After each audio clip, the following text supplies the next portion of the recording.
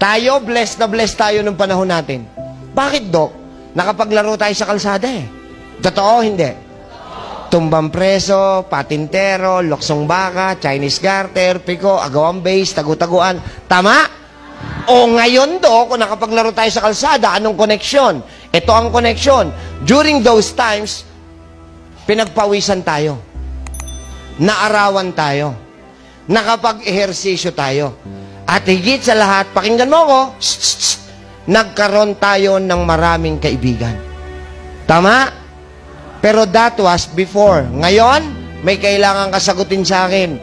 Bakit yung mga anak at apo nyo ngayon, sa loob lang ng tahanan nyo, radiation ng gadgets at cellphone ang kaharap ilang oras araw-araw. Kapatid, titigan mo ko.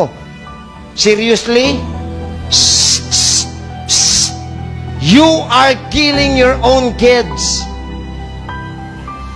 Ang linaw-linaw ng nakasulat, gadgets and cellphones should only be given if the kid is already 12 year old above.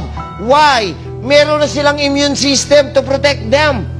My goodness, anak at apo mo, tatlong taong gulang pa lang naka-cellphone na. Nag-iisip ka ba? Nasa tamang pag-iisip ka bang magulang ka? You are killing them, damn it! Tatlong taong gulang naka-cellphone? For what? Ang tatamad nyo kasi mag-alaga!